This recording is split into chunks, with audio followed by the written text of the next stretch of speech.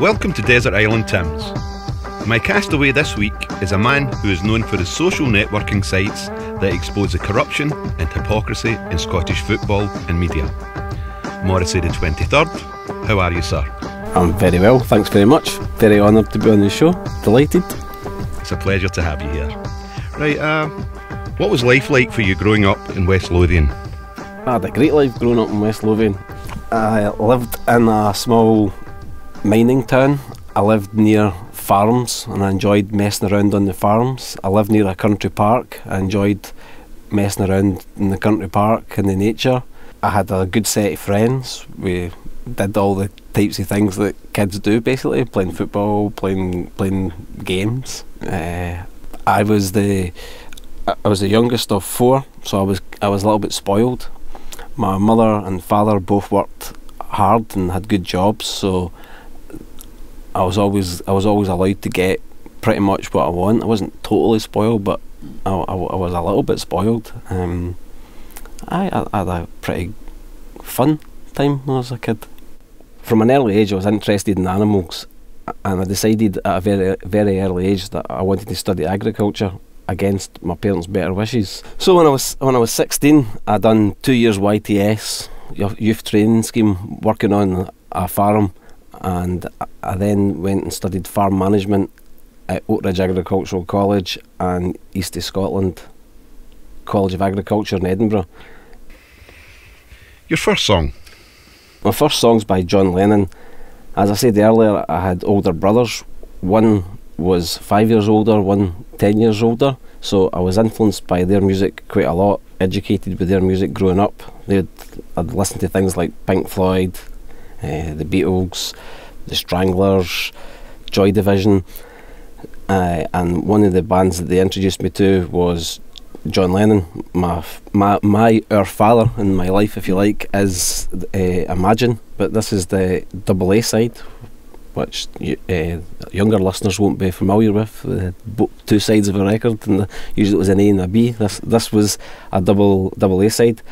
It's a working class hero. This this this is a song that John Lennon wrote to as a warning against falling into the machinery of capitalism. It you would rather be you'd rather be a peasant than killed to get to the top. Uh, he's seen how religion is used to control people and how the the media are used to control people, tying in with with with the football thing. The mainstream media obviously uh, don't print print the news as it's hap- as it happens. Uh, it's old news that you, you're getting. So my first song is "Working Class Hero" by John Lennon. That was "Working Class Hero" by John Lennon. What took you into your social networking exploits?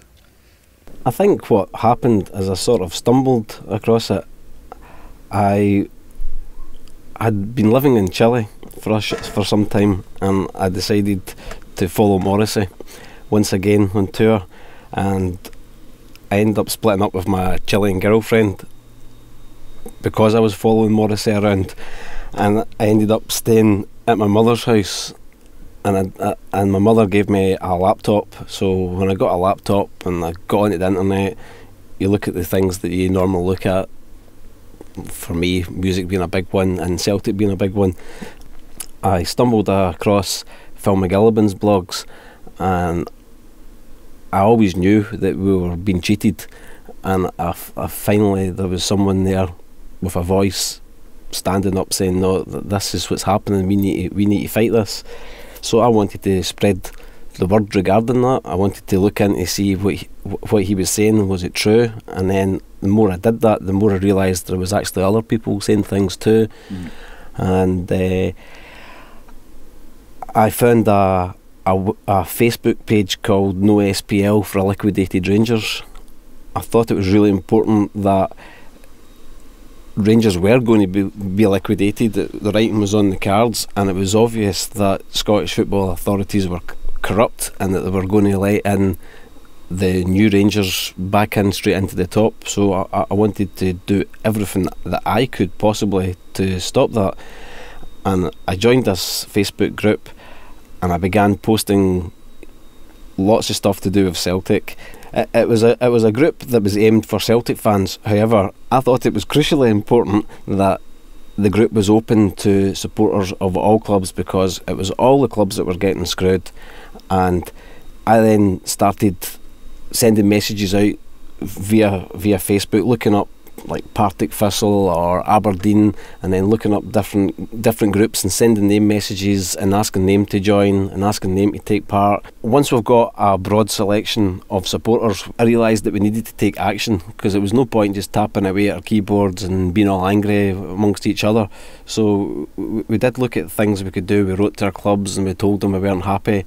Uh, I wrote to Celtic and I told Celtic that I wasn't happy that that if I felt that Celtic were involved in this, then the old firm existed, and I didn't want to be part of the old firm because that's not what I imagined. Mm.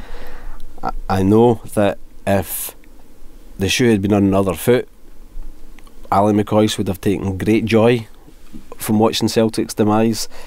That they would have stood in their windpipe. Mm-hmm. They would have they would have put Celtic out of the game if possible. So why why were Celtic not doing everything they could to put Rangers out of the game? And a lot of people who are probably wiser than me said that, told me that the reason that, that Celtic weren't coming out and making statements and, and being, being seen to do anything was that they would be attacked for it. And, and there would be probably even people getting killed in the street, there would be chapels getting burnt.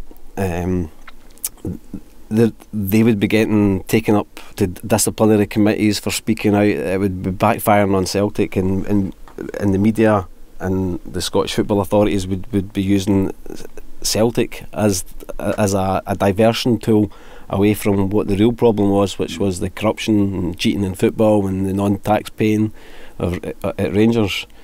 After the clubs stood up against Rangers being allowed into the SPL and the Newco were allowed to be fast tracked into the bottom division ahead of decent teams like Spartans. I stopped I stopped listening to the Radio Clyde to Radio Scotland. There was no point in listening to that media because their agenda was to feed you lies.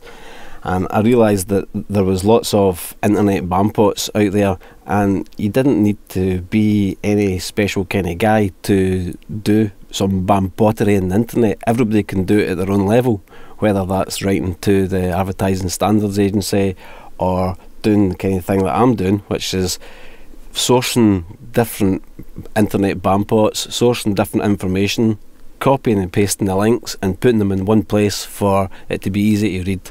People from America and Australia, Celtic fans, would send me messages saying, I can just go onto your page and I can I've got 10 minutes during my lunch and I can read through and get the most important things. So basically I ended up not planning to but I ended up editing a page of Celtic News on Facebook. Your second song? My second song is No Surrender. This is a song that I've enjoyed singing out loud many times at Hampden. Uh, I was intro- I was introduced to this band when I was about fourteen uh, in Saltcoats once on holiday with my, my mother and father and my brother, five years older than me. He introduced me to Trivial Pursuit, to the Secret Diary of Adrian Mole, and he introduced me to Bruce Springsteen. I think Bruce Springsteen's one of the most romantic singers there is, and one of the best live performers there is. Uh, this is uh, No Surrender by Bruce Springsteen. That was Bruce Springsteen. Who are your influences and heroes? My influences come from my family mainly. My mother and my father. Father's introduced me to all kinds of things like science, astrology. He's a very interesting man.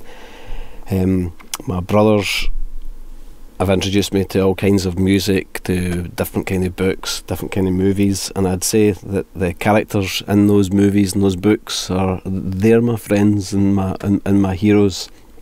Uh, there is one person uh, above everyone else. I would say is a hero. Apart from him, I would say uh, there's no more heroes. But one hero I've definitely got and I could talk to you about him for hours if you want, is Morrissey. Morrissey's influenced me a great deal. I first discovered Morrissey in the last months when I was at school.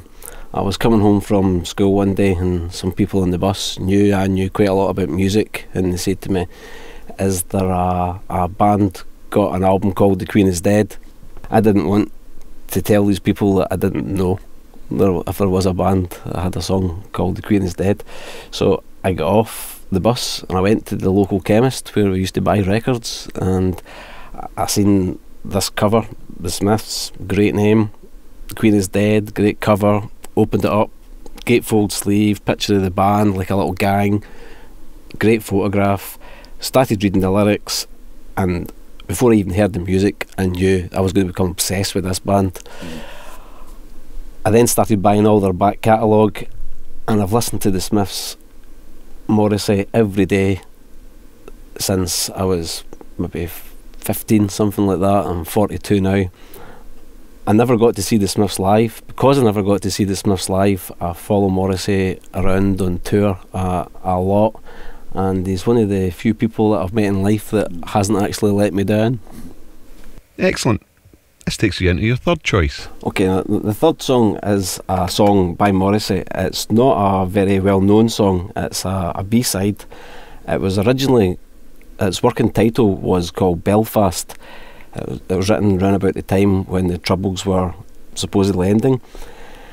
And the name's been changed to a title from the movie Romper Stomper. It's about a Catholic being brought up in in Northern Ireland the song is This Is Not Your Country. That was This Is Not Your Country by Morrissey. What are your earliest memories of going to Celtic Park? Earliest memories of going to Celtic Park are probably uh, when my brother, who's five years older than me, was at university or uh, Paisley College of Technology it was at the time. He took me to first of all I went to Love Street. I seen Celtic play at Love Street. I think two weeks later I saw Celtic play Aberdeen. Um, when, when before we went to the stadium, my brother told me all about the jungle, and I, I, knew what I knew. I was actually going. To, I knew about the jungle, and I, this time I was actually going to go to the jungle. Uh, he told me that they stand at the same place all the time, and there's a guy stands near them that blames Davy Provan for absolute everything. So we, this day we turn up, and Davy Provan's not playing. Uh, near the end of the game, Celtic are getting beat, and this guy blames Davy Provan for not playing. And Davy Provan get, get brought on as a substitute and scored from a, a free kick, and uh, that's one of my earliest memories. Uh, that I wasn't allowed to go to football when I was younger. M- my my father didn't think you should support Celtic or Rangers. It, he he seen that as um, you could be doing better things with your life once I got a little bit of taste of going to the football and I could do it, I used to get what we called the service bus in the public bus into Glasgow, and it took a long time to get there. And uh, we'd, we'd go through to the games, and this was around about the time when casuals were were, were starting. Uh, and I remember one game we were coming back, and it was a rush to get on the bus because the bus was full, and then you'd have to wait half an hour to get the next one. And the bus stops, and the bus driver says one person only, one person who came from the same town as me got on, and I jumped, I jumped right at the front of the queue, and the bus driver managed to let the two of us on. We get to the next bus stop, and my friends who were hoping that the bus wouldn't stop at the cross because it often didn't they were waiting at the next bus stop were waving to me and I was waving back to them very pleasantly thinking this is great this is funny I'm on the bus and they're not. But I didn't realise that they were being introduced to casuals and they were getting their heads kicked in. So none, none, of, none, of, none of that group of friends that I, that I went to football with then ever went back but I continued to go and it, it was it's like a, an addiction. You keep going all the time. Your fourth song? The sash my father wore by Ballboy. My fourth song is uh, about a bigot. It could actually be about any bigot. Uh, I think everyone should be against every kind of ism there is, whether it's racism, sectarianism, maybe apart from criticism. I thought of picking lots of different Scottish bands, uh, Frightened Rabbit, Homeward James, Belle and Sebastian. I think there's a lot of good Scottish bands, and I decided to pick one, so this is the one I've picked.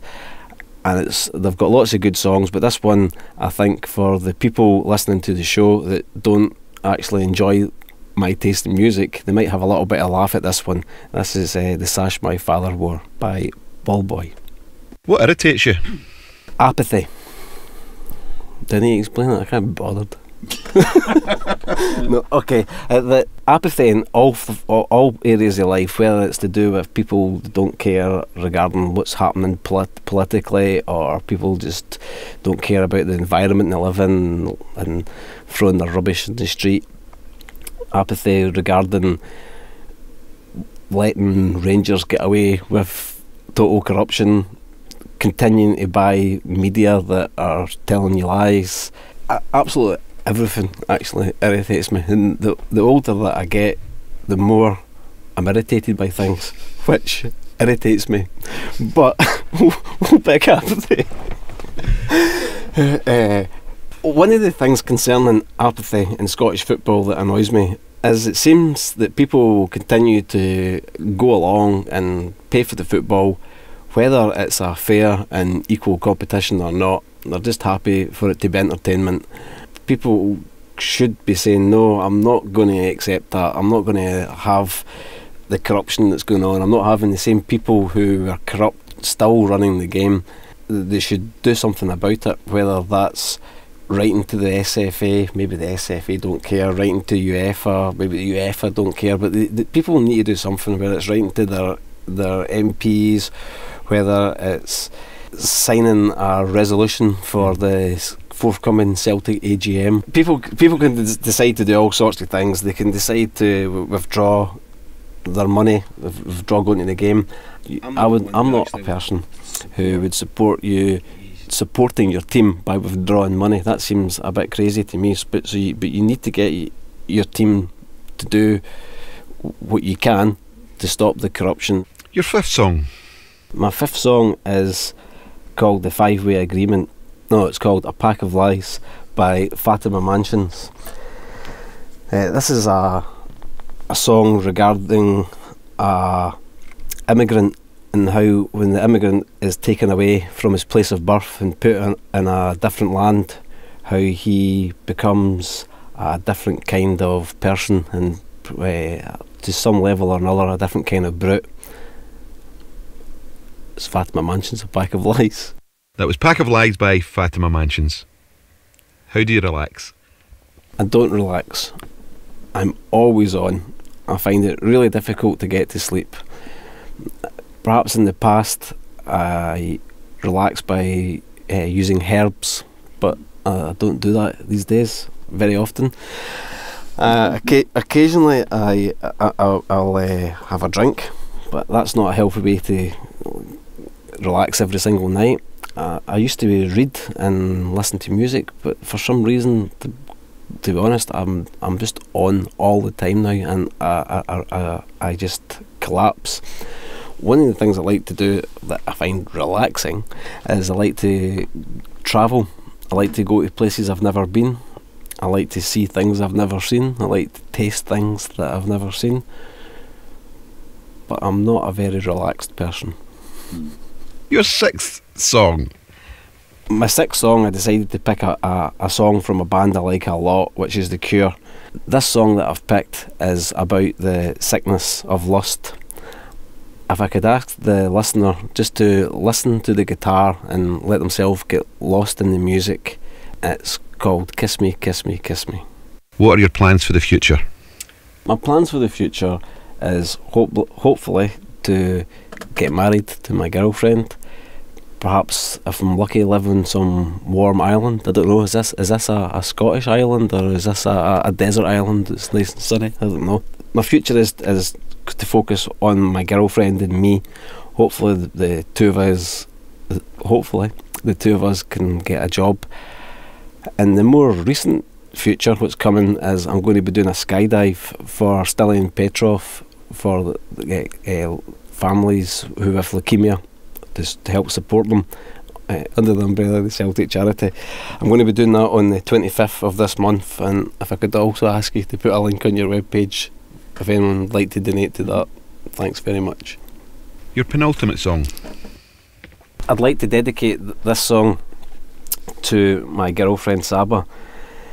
This is a band I was introduced to by my best friend, whom I've spoke to perhaps once in the last five years and about six times in the last 15 years. I, I don't do communication very well. This song is Nick Cave, Into My Arms. Right, we've come to the part of the programme where I give you the complete works of the dandy and a copy of the Bible to take with you to your island. Would you like a copy of the Bible? Of course, it's got better characters in it than the Dandy, Bananaman, Corky the Cat. I haven't got a patch on the characters on the on the Bible, and I'm sure I could find a lot more uses for the Bible than I, I would a Dandy. So yeah, I'll have a a Bible. Thanks very much. Good.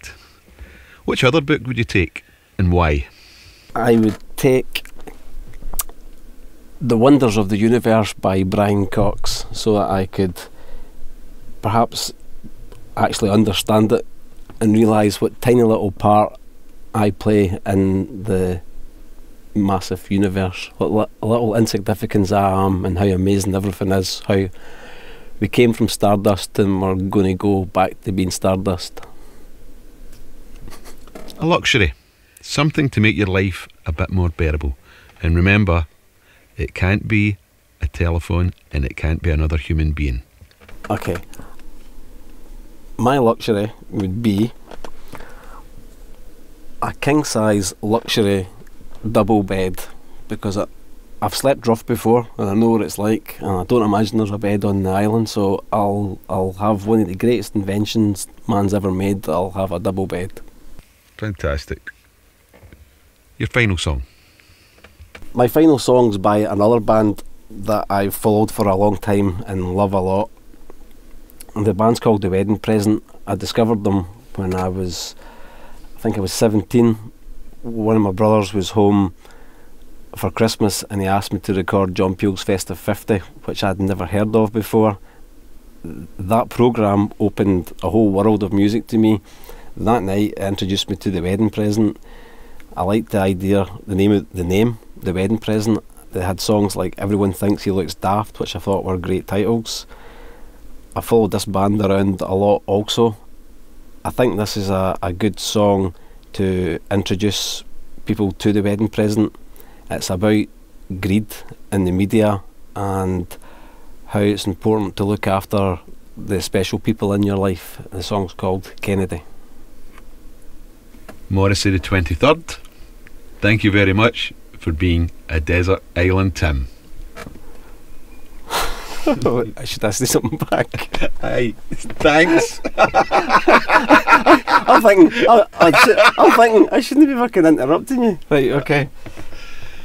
Morrissey, Morrissey the 23rd. Trevor. Thank you very much for being a desert island Tim. It's been a pleasure and a privilege.